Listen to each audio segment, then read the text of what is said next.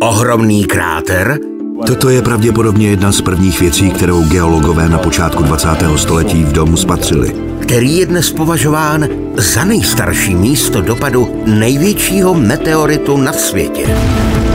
Kameny do určité míry mlčí, ale tím, co děláme, se je snažíme přimět mluvit.